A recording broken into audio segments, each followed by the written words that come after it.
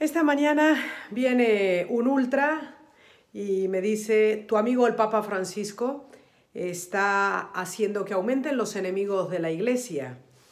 Y a continuación me dice, claro, él ha comenzado con el tema de la tolerancia cero hacia el abuso de menores y resulta que ahora todo el mundo tiene derecho a denunciar y los pobres obispos no saben qué hacer con tantas denuncias.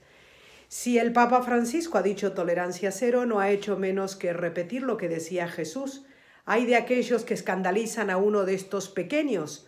Más le valdría ponerse una piedra de molino en la cabeza y que lo tiren en el mar. Creo que palabras más duras mm, de la boca de Jesús, pocas habrán salido. Eh, los niños son la tierra sagrada de Dios, con lo cual esto de la tolerancia cero me parece perfecto y de la transparencia yo creo que es fantástico y fabuloso. Eh, Pablo VI, San Pablo VI decía que nuestras casas, nuestros conventos, tendrían que ser como con paredes de cristal para que se vea cómo vivimos adentro. No hay nada, también decía Jesús, que esté oculto que no se sepa. Se gritará la verdad que se ha querido ocultar en los tejados y no son enemigos de la iglesia. Yo creo que es enemigo de la iglesia el que quiere pactar con la mentira y seguir oprimiendo a los que han sido víctimas. Eh, bienvenida sea la transparencia, bienvenida sea la humildad a la iglesia, bienvenido sea el pedir perdón, bienvenida sea la tolerancia cero a aquellos que escandalizan a los más pequeños. Por tanto, si en la conferencia episcopal se ha creado una comisión para investigar el tema de los abusos, yo creo que esto no puede ser una cuestión de maquillaje.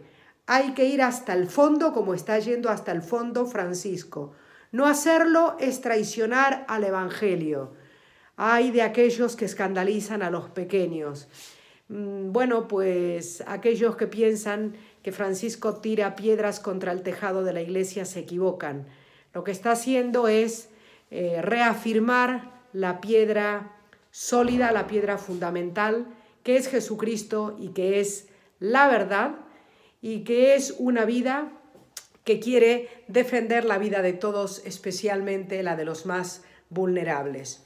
Tolerancia cero a los abusos, tolerancia cero al escándalo, tolerancia cero a la corrupción.